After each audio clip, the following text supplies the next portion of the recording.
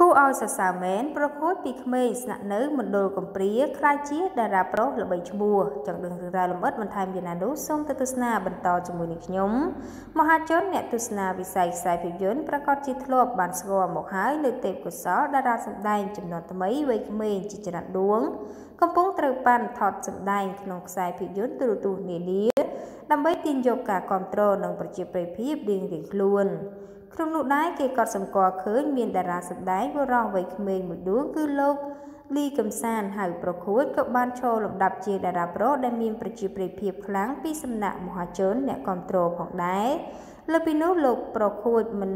ត្រឹមទទួលបានការកោតសរសើរលើទេពកោសល្យសិល្បៈនៃការសម្ដែងប៉ុណ្ណោះទេលោកត្រូវបានអ្នកគ្រប់គ្រងសរសើរថាមានរូបរាងសង្ហា និងមុខមាត់មានមុនស្នេហ៍ថែមទៀតផង។ យ៉ាងណាមិញបើក្រឡេកទៅមើលជីវិតឯកជនរបស់តារាប្រុសរូបស្រស់សង្ហានេះក៏មានអ្នកគ្រប់គ្រងមួយចំនួនបានដឹងមកហើយពីរឿងរ៉ាវលំបាកជូរចត់របស់លោកកាលពីក្មេងៗនិងមុនខ្លាយទៅជាតារាសម្ដែងនោះដោយកាលពីមុនប្រគួតធ្លាប់ជាក្មេងរស់នៅក្នុងមណ្ឌលកុមារកំព្រាមួយនៅខេត្តបន្ទាយមានជ័យអស់រយៈពេល4ឆ្នាំតាមការ ឲ្យដឹងពីតួឯកប្រុសក្នុងខ្សែភាពយន្តជាច្រើនរូបនេះធ្លាប់បានប្រាប់ទៅកាន់សារព័ត៌មានជាច្រើនហើយដែរថាលោកធ្លាប់បានរស់នៅក្នុងមណ្ឌលកុមារកំព្រាមួយឈ្មោះថារងគោ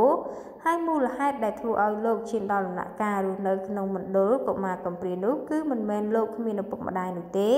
ប៉ុន្តែដោយសារឪពុកម្ដាយរបស់លោកបានលែងលះគ្នាហើយលោកត្រូវរស់នៅជាមួយឪពុកពិការទៅមណ្ឌល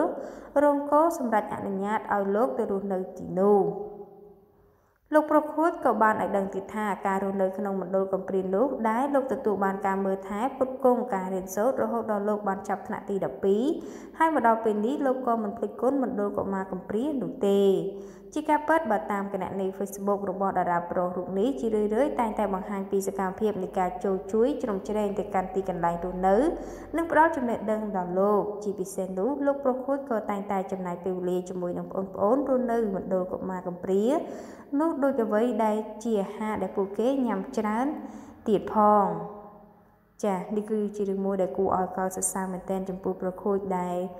រូបលោកបានធ្លាប់នៅមណ្ឌលកុមារកំព្រាបើទោះបីជារូបលោកបាន ចាជោគជ័យនៅក្នុងអាជីពការងារក៏លោកមិនភ្លេចដើមកំណើតដែលលោកធ្លាប់រស់នៅហើយកន្លែងដែលគេធ្លាប់ជួយរូបលោកផងដែរនេះគឺជាទង្វើមួយដែលល្អមែនទែនហើយ គួរតែយកគំរូតាមចាតកតងទៅនឹងព័ត៌មាននេះក៏បានបញ្ចប់អរគុណប្រិមិត្តដែលតែងតែនិយមគ្រប់គ្រងនៅលើ FB Daily News របស់អ្នកខ្ញុំប្រសិនបើលោកអ្នកចង់បន្តទទួលបានព័ត៌មានថ្មីៗក្តៅក្តៅប្លែកប្លែកហើយតនហេតុការណ៍នោះសូមជួយចុច Like Share និង Subscribe លើ Channel របស់អ្នកខ្ញុំផងដើម្បីបន្តទទួលបានព័ត៌មានថ្មីៗបន្ថែមទៀតមានពីពេចសម្ដីត្រង់ណាមិនសមរម្យនោះក៏សំខាន់ទេភ័យទោសទុកជាមុនផងដែរចាសសូមអរគុណសូមជម្រាបលា